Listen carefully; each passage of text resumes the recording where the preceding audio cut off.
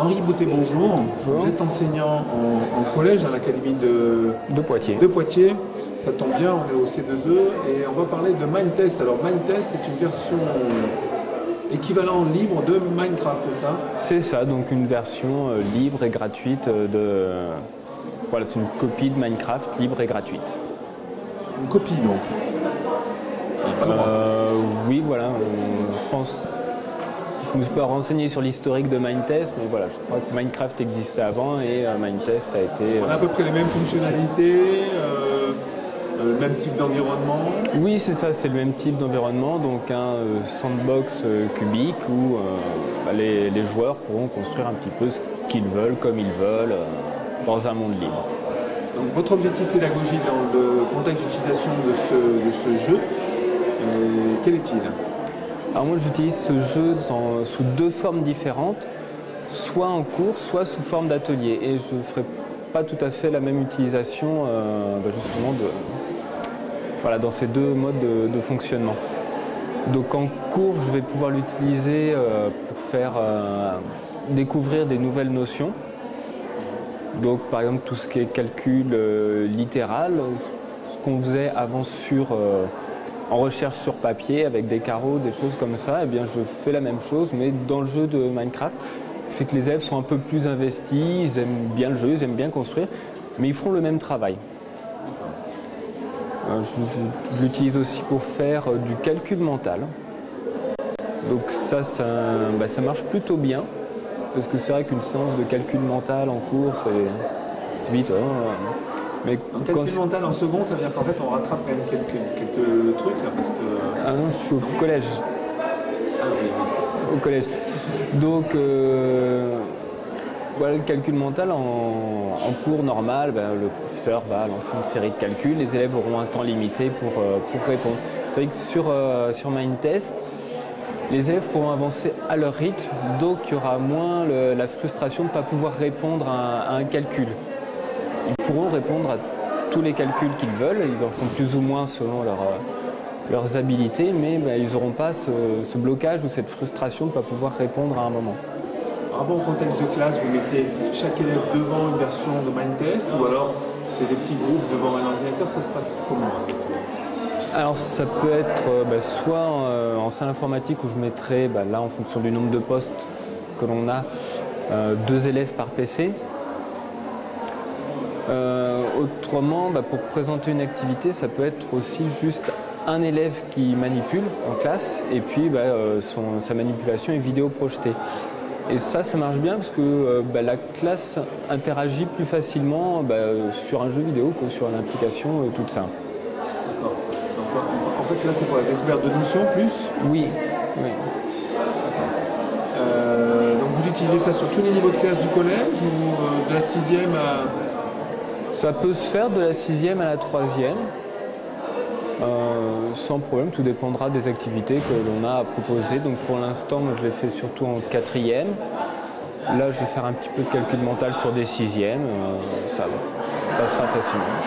On est en cours de mathématiques, Oui.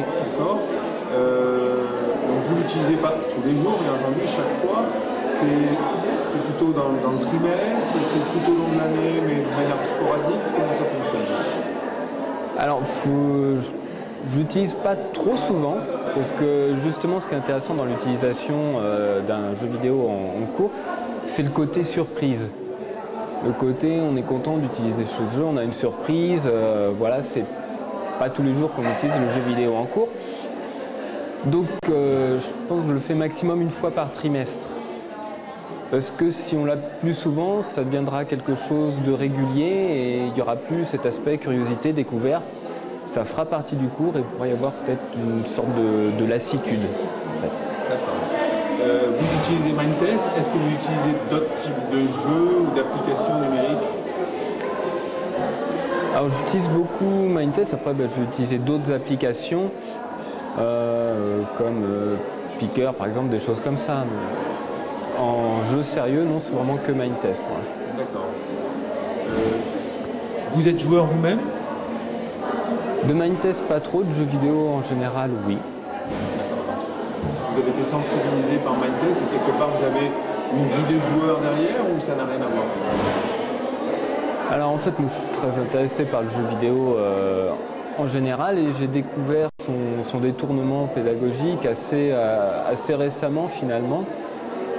Euh, voilà, quand j'ai pu découvrir ça ben, en participant à la Gamers Assembly.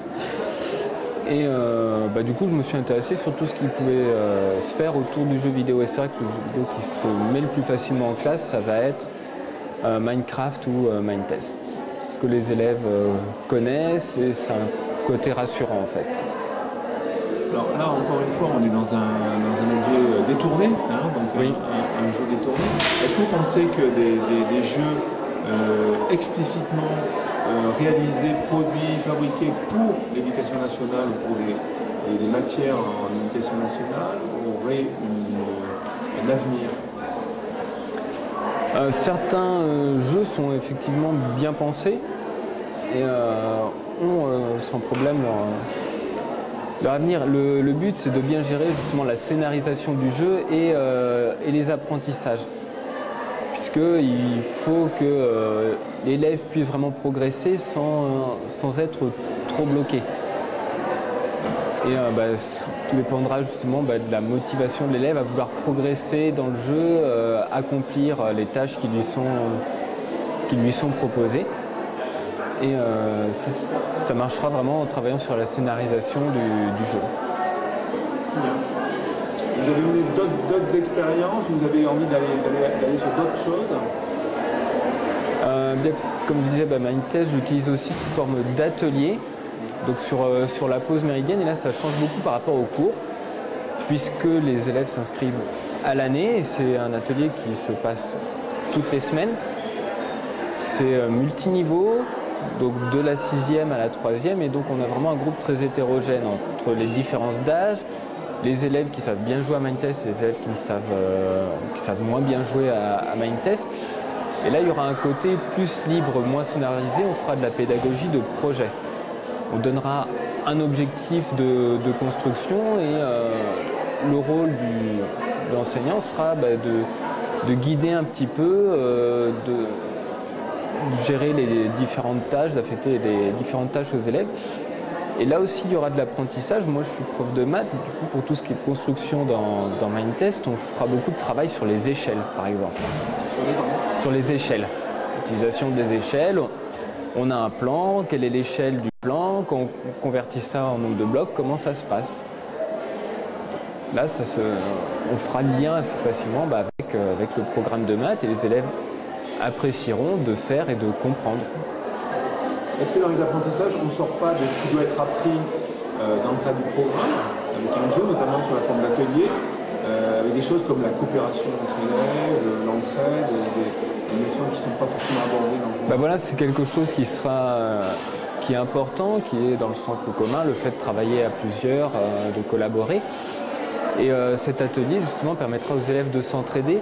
Les questions viennent plus facilement aussi sous forme d'atelier. Autour d'un jeu vidéo, on demandera plus facilement de l'aide à un camarade ou on donnera plus facilement de, de l'aide.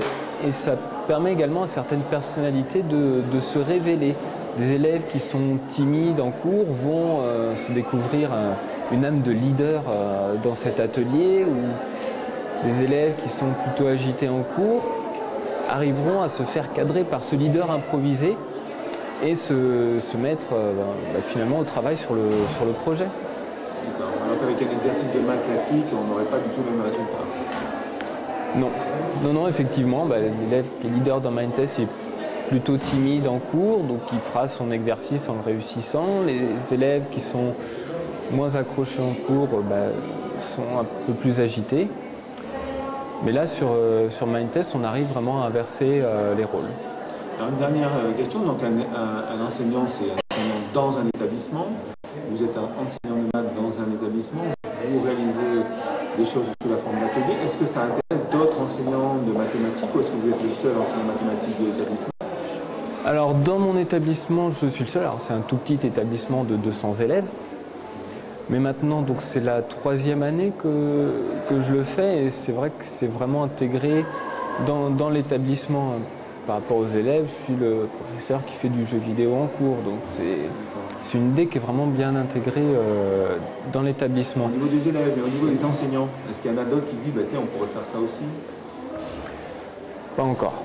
Pas encore, mais c'est vrai que c'est quelque chose de très particulier. Alors c'est pas forcément des enseignants de mon collège, mais bah, je reçois euh, des emails d'enseignants un petit peu toute la France qui me demandent un peu comment on fait, comment on met en place, ou euh, qui vont prendre un petit peu ce que j'ai euh, écrit, diffusé sur Internet pour le, refaire. Et c'est vrai qu'on a une communauté d'enseignants qui utilisent Minecraft ou euh, Mindtest. On, se suit les uns les autres un petit peu sur Twitter pour voir ce qui se fait, les nouvelles notions qui peuvent être mises en place.